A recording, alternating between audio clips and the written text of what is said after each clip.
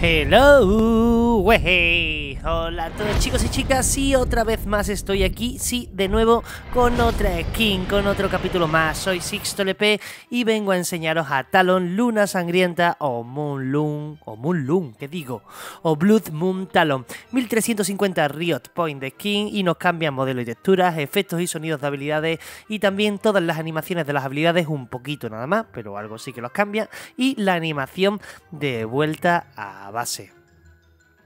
Bueno, y una vez dicho esto, pasemos a ver directamente la skin de Talon Luna Sangrienta, dado que el Splasher aún no ha salido en el PB, pero quería sacaros ya el vídeo de la skin y así me la iba quitando de en medio.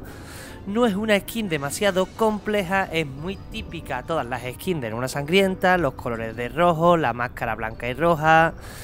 Y lo típico, unas trenzas que tiene ahí en la capa, no es la más chula de ellas, la verdad. La que más me gusta de esta temática de este año de 2017 es la de Jin.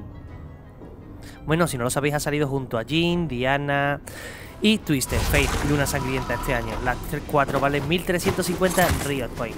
Este es el vuelta base, que sí que está guapetón. No está mal como se apoya ahí en la farola esa que crea él de la nada. Y pasemos ahora a ver sus habilidades, empezando por su Q, el saltito este que mete y cómo le va dejando la pasiva ahí de las tres marcas.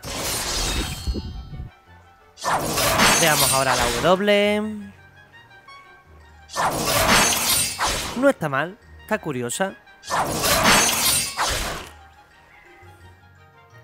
Ahora veamos la E, que la E realmente no sé si tiene algún cambio. Dicen que sí, que han cambiado la animación de cómo salta y le han añadido algún efectito, pero yo no se lo llego a notar demasiado.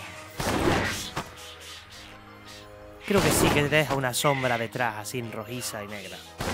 Pero bueno, tampoco es un gran cambio, tampoco es una habilidad muy espectacular, que digamos así a la hora de tener efectos visuales. Y visto esto, pasemos a ver ahora la ulti, la cual está un poquito bugueada y no se ve el retroceso de las cuchillas. Pero os las podéis imaginar. Ya está, este está los Luna Sangrienta, Blood Moon 1350 Riot Point de King.